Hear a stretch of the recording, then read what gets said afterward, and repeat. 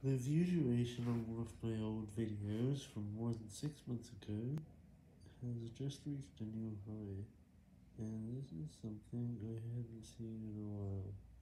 A video just hit a new high in average view duration, and this means that those 20 people, they must have either watched it to the end or at least most of it.